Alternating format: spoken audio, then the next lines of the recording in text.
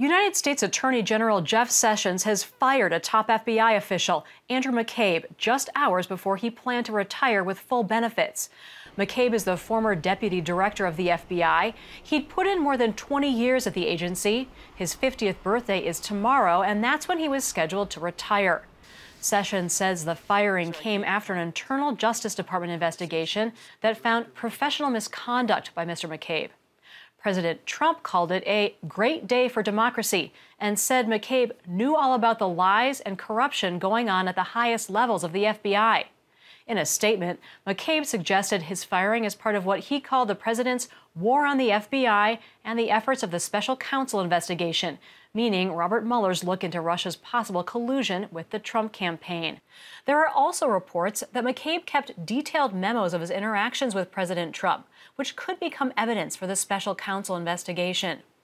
For more on all of this, I'm joined now by Carrie Johnson, Justice Correspondent at National Public Radio. Carrie, thank you so much for joining us. My pleasure. So, President Trump and McCabe have been at odds for quite some time now. Can you just walk us through all the controversies that have led up to this? Yeah, remember Andy McCabe was the deputy director of the FBI, and when the president fired Jim Comey, the FBI director, last May, McCabe took over as acting director for several months. But pretty soon, tension with President Trump began to emerge. President Trump started tweeting about McCabe because McCabe's wife had run unsuccessfully for a seat in the Virginia state legislature and had taken some money from Virginia Governor Terry McAuliffe, a close ally of the Clintons. Even though McCabe said he vetted his uh, role in the Clinton Clinton investigation with FBI ethics experts, President Trump just couldn't let go of it. He's accused the FBI of a multitude of sins over the last year and particularly targeted McCabe. Just a few weeks ago, he accused McCabe in a tweet of running out the clock to his retirement. And this all culminated, of course, in a firing by DOJ just hours before McCabe was set to turn 50 years old. His birthday is Sunday, and to collect his full federal law enforcement pension. Attorney General Jeff Sessions fired McCabe, he said, because of a lack of candor. And we're now hearing word about an inspector general report that has even more accusations against McCabe. Can you just explain to us what all these accusations are?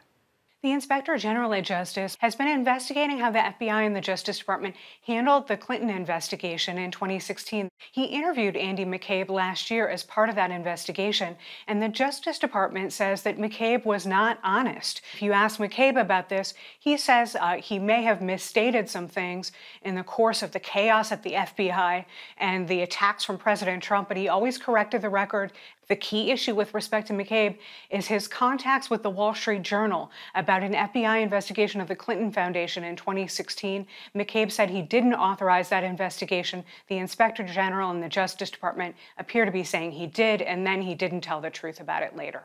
McCabe is also a potential witness into um, the investigation as to whether or not President Trump may have obstructed justice in the Russia investigation. So, what effect could his firing have on that investigation? Well, it's really interesting. Andy McCabe and his lawyer, Michael Bromwich, both put his firing in the context of this ongoing special counsel probe. McCabe says this is all part of an effort to discredit him personally and to discredit the FBI and the Justice Department generally because President Trump so fears what special counsel Robert Mueller may be turning over in the Russia investigation. He said you cannot separate what he considers his abuse by the president for over a year from this Russia probe. McCabe says that he testified in closed session before the House Intelligence Committee in December, and shortly thereafter, it became clear to him that the Justice Department may have been out to get him, trying to uh, punish him before he could collect his full retirement benefits this year. On that point, what do you make of the timing of this firing? Well, it's true that Justice Department investigations into wrongdoing often take a really long time. So the notion that this one uh, was speeded up in some regard to try to have some implication or some effect on Andrew McCabe's pension does seem to be a little unusual. At this point, McCabe is not explicitly threatening to sue, but that may come down the pike. And certainly the tweet from President Trump just a couple of hours after McCabe was fired late Friday night could be evidence that uh, the politicians here were trying to weigh in and press Attorney General Jeff Sessions to punish McCabe before he could collect those pension benefits he was due.